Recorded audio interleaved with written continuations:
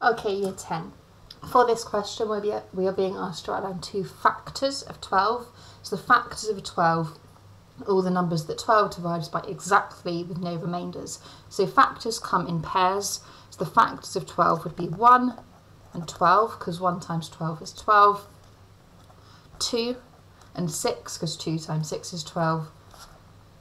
3 and 4 because 3 times 4 is 12.